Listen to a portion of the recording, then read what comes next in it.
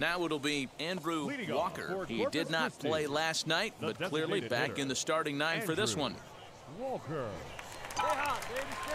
Ready to deal. Here comes the first pitch. Line to the right side. And that'll get down for a base hit. So he goes after the first pitch, and it's early trouble here this half of the inning. Next, here is Carmen Benedetti. Took an 0 for 4 in the victory last night. The right fielder. Carmen. Benedetti. And this is on the ground is short. Could be two. To second for one.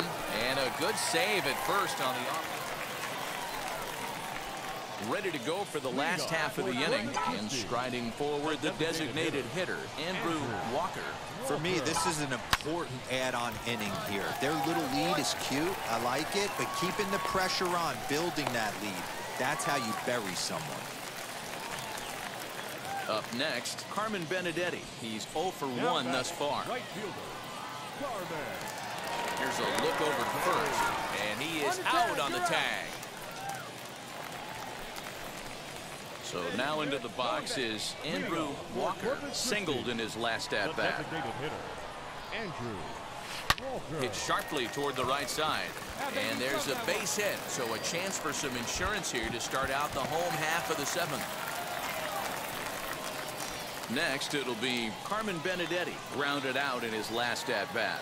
Yeah, Matty, expect this pitcher to try and get the same result. as his last at bat right here. The double play is in order. Anything on the ground, the way this defense is, they could certainly roll too. On to first to complete the double play. Man, we were treated to a nice pitcher's duel in this one. Both starters throwing strikes. They worked deep, and both were in command of the game. It really came down to a few key at-bats. This was a fun game to watch. Close one tonight, 2 to 1 the final score. The Corpus Christi Hooks led this game from the third inning on and never wavered.